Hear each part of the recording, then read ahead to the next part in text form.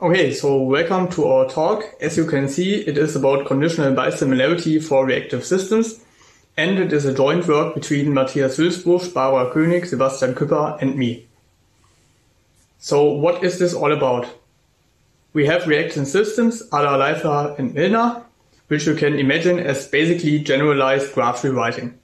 We have conditions, basically first order logic on graphs, and we have bisimulations, so behavioral equivalence, and our talk is at the intersection of these three.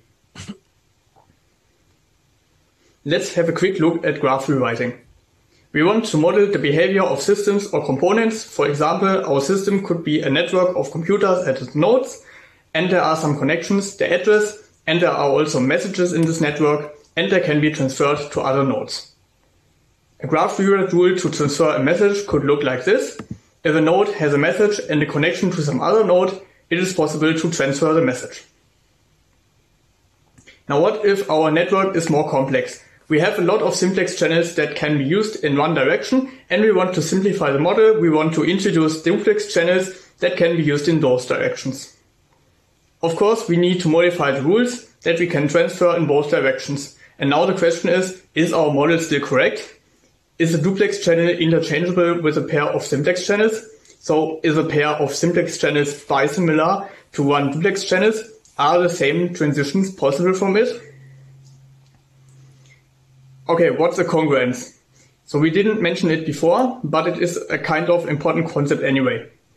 Usually we don't just care about the components in isolation because, for example, the S channel cannot do a step on its own because there is no message. And the X channel doesn't even have a rule, so it also cannot do a step. But that means the two are bisimilar because both cannot do any steps. In practice, however, that's not what we want. We care about the whole system. We care if S channel and X channel are interchangeable, which they obviously are not. We want an answer to the question, do they both show the same behavior if you put them into some environment? And if shows same behavior implies shows same behavior in all contexts, then we have a congruence relation. And in this talk, we will see how to obtain bisimulations that are also congruences. Now, sometimes we know that two systems do not behave the same in all contexts. For example, a real network may fail if it is overloaded. It is not bisimilar to an ideal network. But we still maybe want to show ideal network and real network behave the same if there are not so many participants. And that would be a conditional bisimulation. We could ask, does there exist a conditional bisimulation containing an ideal network, real network, there are no more than 20 participants? So this is the outline of the talk. We have already seen why we want to study this stuff in the motivation. And now we will first give an overview of reactive systems, or rather a specific instance of that. We then extend them with conditions. Then we talk about our contribution, which is conditional bisimilarity. We then use up to techniques for conditional bisimulations to make the proofs easier, and we will end with a conclusion. In this talk, we consider reactive systems as defined by Leifer and Milner, which are a general framework for modeling dynamic behavior of systems. Basically, a reactive system is a generalized rewrite system. In this talk, as a running example, we use graphs, graph morphisms, and graph transformation systems. The transition system that we are looking at has graphs as states and rule applications as transitions. So you might know what a morphism is. It is a structure preserving map between graphs and two morphisms that are pointing at each other that have a common codomain make a cospan. What is this good for? Um, we treat a cospan as a graph with interfaces. So the common codomain, the object in the middle, represents the actual graph. And the two graphs on the outside are interfaces that can be used to connect the center graph to the outside world. And if we have two cospans, we can of course also compose them. And we do this by gluing the two inner graphs over the common interface drawn here at the top of this diagram. And more concretely, we take the push out here for composition. let's look at double push-out graph transformation systems. Rules in that approach look like this. You have a left side that is replaced by a right side and an interface graph to connect these two. And if you have some graph that you want to rewrite, you start with a match of the left side in that graph. You then cut out the left side from that graph, leaving just the interface in it, and then you glue the right side back in. And that would be the result of the rewrite step. What you actually do here is you take the push out complement to obtain the context C and then the push out of the remaining morphisms to obtain the result. So we see cospan composition uses push outs, double push out uses push outs. Seems like a good idea to connect these two, right? If we add some empty graphs in convenient locations and then draw some cospan arrows, we see that we can describe the whole rewrite step just with a cospan decomposition and a composition. So some graph A reacts to some graph A prime if it is possible to decompose it into left side and some context and the result is right side composed with this same context. And this is useful because a reactive system, as defined by Leifer-Milner, is just a set of rules which are pairs of arrows and reactions are just done exactly in this composition manner. So this is how we can see double push-out graph transformation as a concrete instance of a reactive system. In the rest of this talk, we will hide the inner structure and look just at the arrows of the reactive system, which is in this case a reactive system over the category of graph cospans. So keep in mind that all of these arrows are themselves cospans now. So every arrow is basically hiding a graph inside. Every arrow represents a graph. Okay, so maybe that is enough to obtain a bisimulation congruence. Um, as we have seen in the motivation, no. So this is again the rule from the introduction to transfer a message. And we know that without a message, S and X cannot do any steps on their own, so they are bisimilar. But if you give them both a message, suddenly S can do a step, while X still cannot because there is no rule for it. So those would not be bisimilar. So the bisimilarity of S and X is not preserved under all contexts. So this bisimulation is not a congruence. How can we fix this?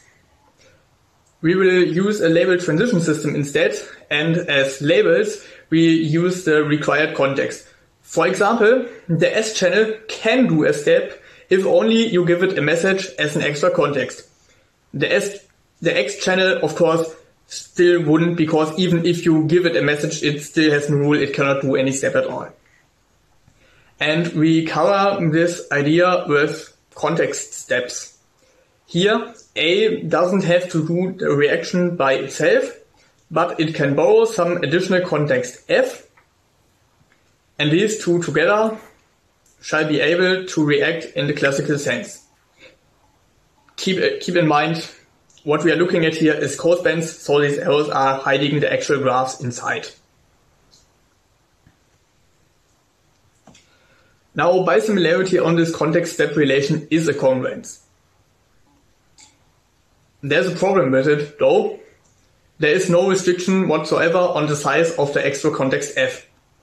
So if you want to check if two objects are actually bisimilar, you would have to check infinitely many graphs that you could stick together on the outside as additional context. And the transition system is infinitely branching. And this is bad for automatic verification because if it takes you infinitely long, that's not good. And we solve this problem by adding extra restrictions on the diagram shape. For example, using borrowed context diagrams to make sure that the context F is only chosen as large as necessary. From these finitely many contexts, you can generalize results to the original infinite transition system. That would be representative steps. We have covered it in the paper, but unfortunately we don't have time for it in this talk.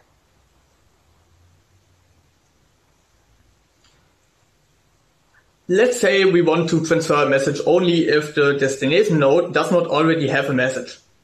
It could be busy processing a previous message or so. but with our current idea of a rule, we cannot do this because if you can apply the rule without a second message on the right, then you can always apply it as well if there is a second message as extra context or whatever other context there might be flying around.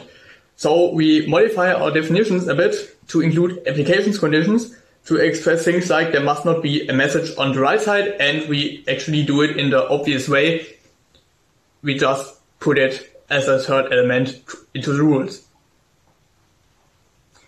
The conditions that we use are basically first order logic in graphs, so you can express things like there exists the loop in the graph, or for all occurrences of an A edge in the graph, there must also exist a B edge in the opposite direction between the same two nodes.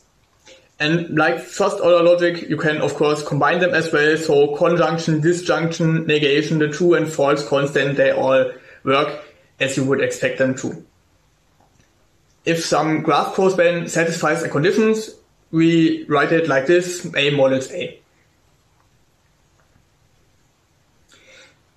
Now, in order to get reactive systems with conditions, we simply add these application conditions to the rules. So a rule is now a triple and rule application works roughly as before, but additionally we check if the context of the reaction satisfies the application condition.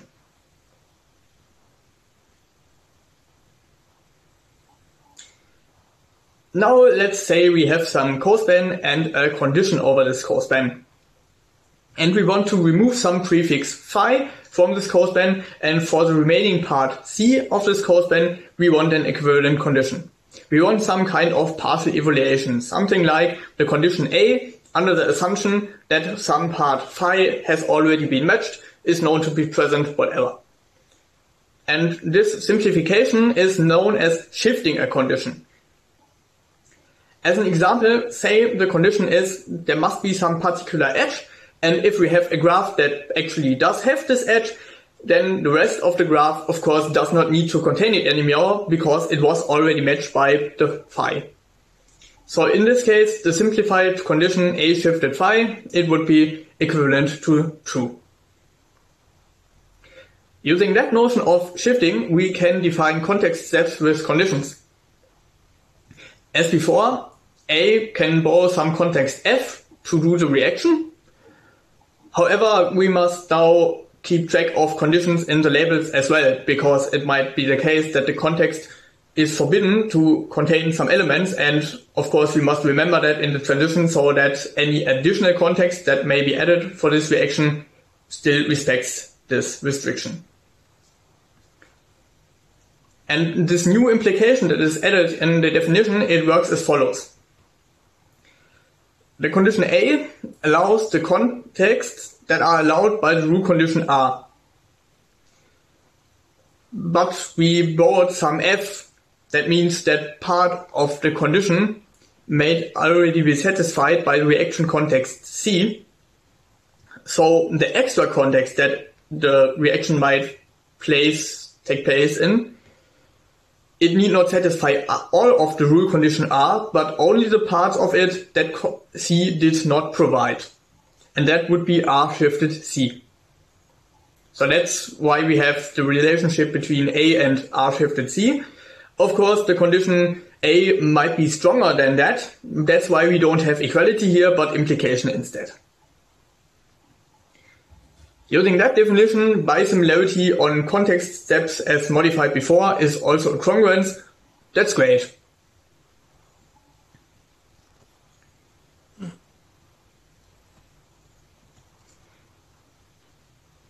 Okay, so, so far we didn't see anything new, but we should have an idea about the foundations now. Let's talk about our contribution. Standard bisimulation congruence would only check for same behavior in all contexts, but sometimes this is too strict. Because what if we know that our model is not ideal? For example, the network breaks down if too many participants enter it. Right, that's obvious. Or a system cannot guarantee availability if too many subsystems fail at the same time but maybe a sensible assumption is that a failed subsystem is repaired quickly enough so that they don't fail all at the same time. We might want to prove that the systems behave the same at least for this restricted set of contexts, And this is the idea behind conditional bisimilarity. Before we can define that, we first need another definition, because normal bisimilarity is a binary relation. It's all or nothing, either it's related or it is not. So we use conditional relations instead as ternary relations by attaching a condition to the two elements. And why is it a condition over the codomain of these cospans? That's because it is a condition over an environment where these components are placed in. And if you compose that environment to A or B, then the domain of the environment would be the codomain of A. Okay, so we have conditional relations now. And then we define a conditional bisimulation as a symmetric conditional relation such that we have a triple ABC in the relation and we are looking at some step that A can do just like for standard bisimulation. And as for standard bisimulation, of course, B must be able to answer. And so we reach some A prime and some BI prime by these steps, and these must be contained in the relation as well. There's no surprise so far, but we need to take care of the conditions now. So cospan A borrows some context F and then reacts in some environment and we don't know exactly what it looks like, but we know that it satisfies the condition A from the context step. We also have the condition C over cospan A. So condition C comes from the bisimulation triple. Of course, we are only looking at contexts that actually satisfy this condition. But A did not react on its own, but it borrowed F, so the environment that all of this takes place in doesn't need to satisfy all of the condition C, but does the parts that are not provided by F already. So that would be C shifted F. And the environments that satisfy both of these restrictions, these would be the environments that are valid or rather interesting for the step that A does. And now we require that every such environment must also be a valid environment for what B answers with. This is what the condition means. Let's have a look at our example again. So we have the rule for the S channel, we know it already, it transfers a message, and now we add a second rule for some U channel, which does the same thing, but it has an application condition. Well, both of them have, but this has one that is not true. And the second rule can only be applied if some other EN edge is present. So let's say this is an unreliable channel and the edge is some external influence and it indicates whether the channel is currently working or not. Obviously, the unreliable channel is not bisimilar to the perfect S channel because one of these always works and the other one, well, it sometimes doesn't. But what we can show is that there exists a conditional bisimulation that contains these channels under the condition that the channel is currently working. So as long as it is enabled, the unreliable channel behaves the same as the S channel. And furthermore, what we can also show is that if the channel is not enabled, then the unreliable channel is equivalent to not having a channel at all. So as you can see from this example, this seems to somehow work. And of course, we are not happy with having it somehow work, but we have also shown the soundness of our concept of conditional bisimulation. More precisely, we have shown that if you take all the A, B from the relation, then take all contexts D that satisfy the condition from the triple, compose these, and put the result into a normal binary relation then that relation is a bisimulation for the reaction relation. So it captures our idea of being bisimilar under exactly the context that satisfies some condition kind of way. So this seems nice, this seems good, but there is still another problem because these relations may be infinitely large and having infinitely large relations is not such a good thing. So To see where the problem is, let's try to actually show that the U channel and the S channel are conditionally bisimilar. We start with the triple. Let's check what steps can U do. It can borrow a message on the left node and then transmit it. S must answer it. Yes, it can. We can reach two channels plus message on the right and must show these to be conditionally bisimilar. No problem. What steps can this one do now? It can borrow a message, S can answer. We now have two messages on the left node. Can we sh show these to be in the relation? Sure, just look, look at the steps. And it is kind of obvious at this point that this could continue infinitely for infinitely many steps. And if you want to actually prove this, you will have a hard time because this will never finish. What we can, however, see is that the M loop that is on the right node that was added after this, after the first step, it isn't even participating in any of the following re reactions. It's basically just random context. And except for this M loop, the triple that we have obtained already matches the triple US is enabled that is already in the relation. So what we want is when showing that the next triple is in the relation, we want to be able to cut off, cut off some common context. That means we are implementing an up-to context technique. So up-to techniques for bisimulations, they have been, have been introduced by Milner, Sangiorgi and Pous. And let's apply it to our conditional bisimulation. So we slightly modify our original definition so we look at the triple and some step of A, B must answer, but now we pull out some context Ji that is common to both A prime and Bi prime, and only the remaining parts are supposed to be in the relation. And then we fix up the condition to respect that we have cut off the Ji part. Using that definition, let's check our example again. As before, we check what U can do. It borrows a message, does a step, S can answer, we reach channels with a message on the right. Now, instead of directly looking for that one in the relation, instead we cut off the message on the right. So that would be our J. And only what's left we require to be in the relation. And sure, this is relation sure this is related since that's the exact same thing that we started with. So there is nothing left to be proven. So this means using up-to techniques, we can show the conditional bisimilarity of these two in just finitely many steps. Of course, we also need to show the soundness of our technique, and we do that by showing that we have a conditional bisimulation up to context if and only if its closure under contextualization is a conditional bisimulation.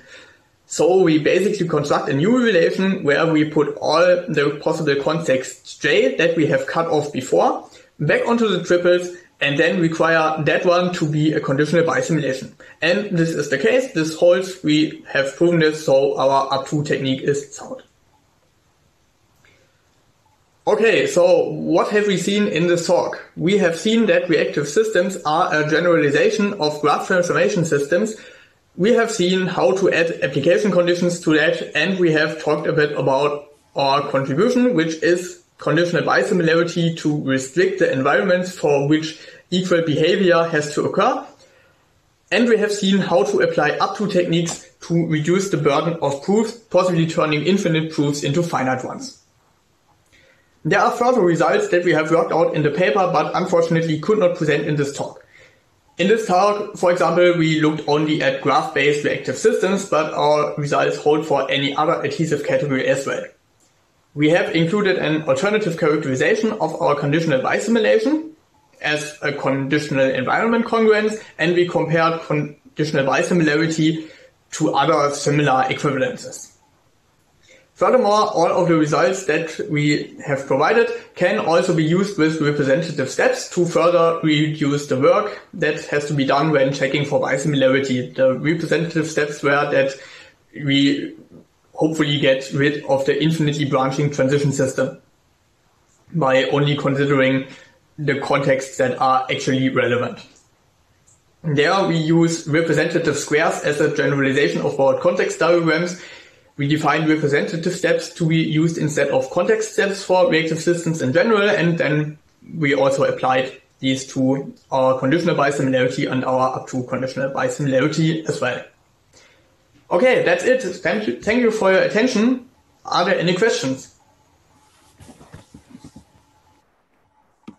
Thank you.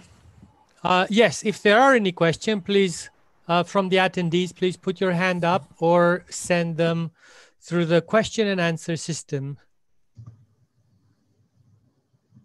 And I will read them for you. You can also send anonymous questions through the question and answers uh, system.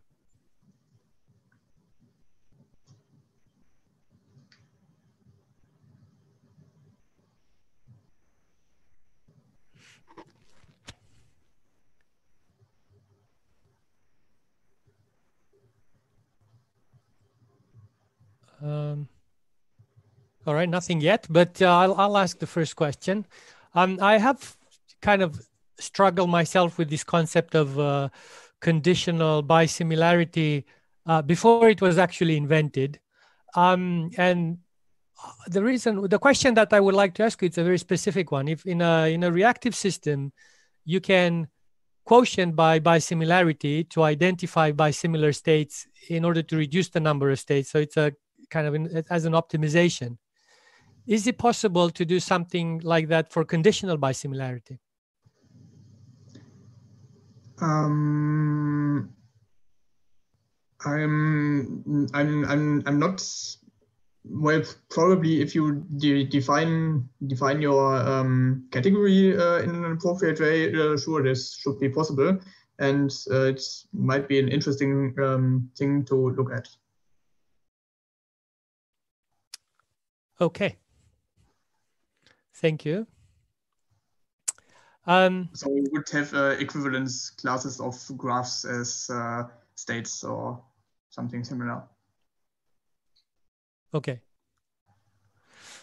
But you did, it's not it's not something that you you thought about. Not yet. No. Okay. Okay. Thank you. Um. Thank you.